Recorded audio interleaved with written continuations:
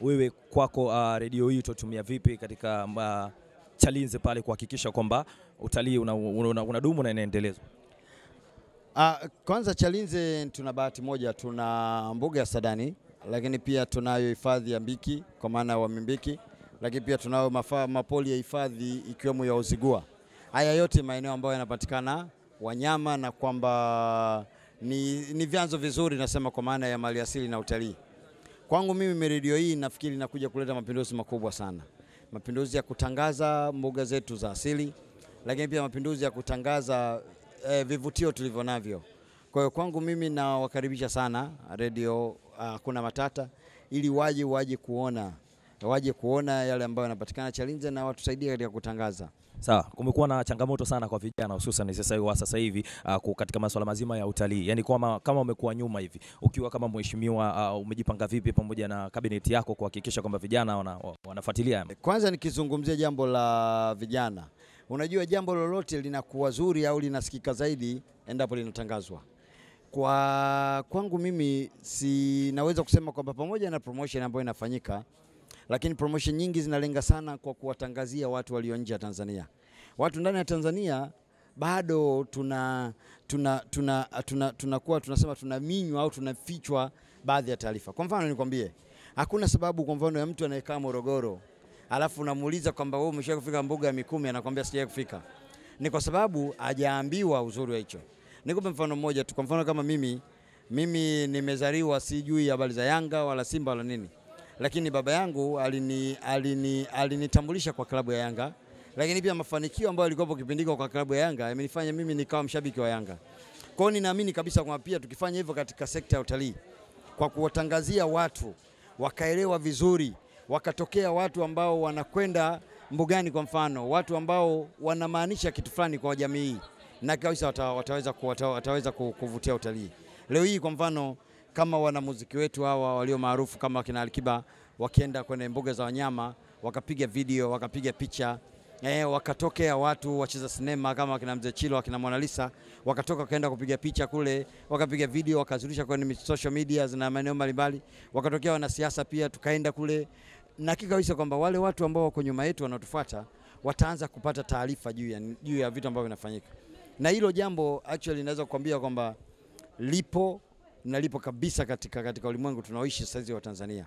Kwa mimi kwangu ninaamini kabisa kama tukitangaza sana tukawatumia watu ambao wanamaanisha wana fulani katika maisha ya watu tutaweza kutangaza vizuri na watu watakuja kuangalia mboga zetu. Sawa, umezungumzia celebrities humo ndani, umezungumzia Likiba pamoja na kina Mona Lisa, wakitumia fursa hii ya, ya, ya kwao kwenda kutembelea uh, mbuga itapromote sana uh, utalii wetu. Wewe sasa kama mbunge umejipanga vipi kuhamasisha hawa uh, celebrities kuja kwako even hata offer?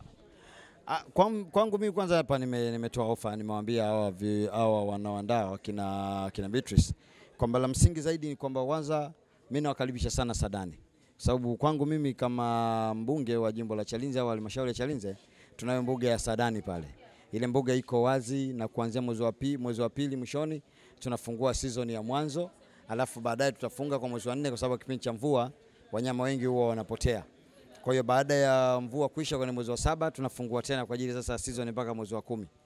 Kwangu mimi nawakaribisha sana, nimetoa ofa hapa kwamba watu waje Chalinze na nimewambia kwamba watakaokuja Chalinze wakituambia tutaandaa mazingira yote. Kwa hiyo wamesema hapo wanao watu kumi, na mimi nimewambia hata kama wataamua kuwagawanya katika maeneo mbalimbali, lakini at least watu hata wawili au watatu waje Chalinze ili waweze kutusaidia kupromoti mboga yetu. Ili kuwa mwanafamilia bora wa Global TV, usisahau kusubscribe, like, kushare na kucomment.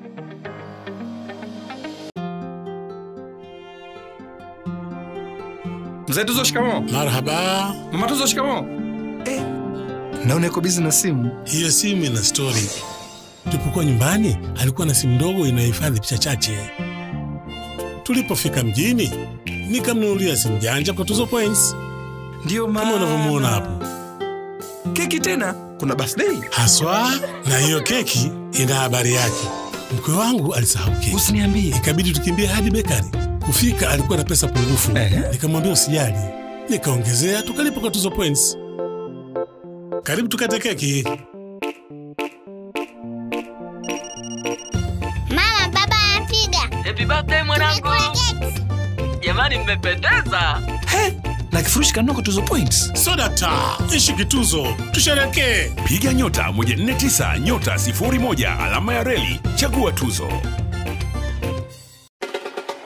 Hivi ndivyo maisha hunoga unapokuwa na kinywaji cha Jambo. Sherekea pati la kijanja popote ulipo ukiwa umeshika mkononi kinywaji cha Jambo.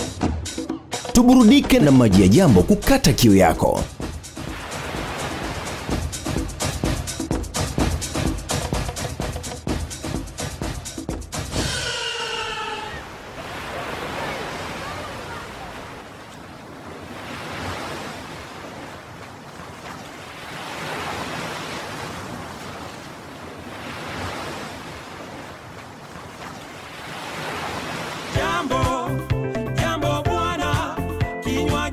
Tuburudike na kinywaji cha Jambo kutoka Jambo Food Product, iwe Jambo Coco Pine, Jambo Pineapple Extra, Jambo Power, Jambo Orange Milk na Jambo Lina yenye ladha ya maziwa.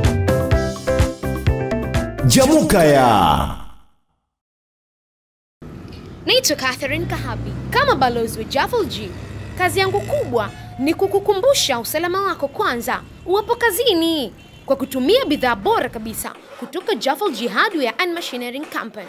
Jaffel G Hardware and Machinery Company Limited tuna bidhaa tofauti tofauti kama vile Texan helmets, Face Shield, Worksuit, Raincoat, Roadworks, Self Boots na Gum Boots, Gloves mbalimbali, Fire Extinguishers, Winter Jackets, Mask na nyingine nyingi. Unatupataje? Tupigie sasa hivi kwa 0753 600099 au 0787522672 au wasiliana nasi kwa barua pepe yani info at jhmsavage.co.tz.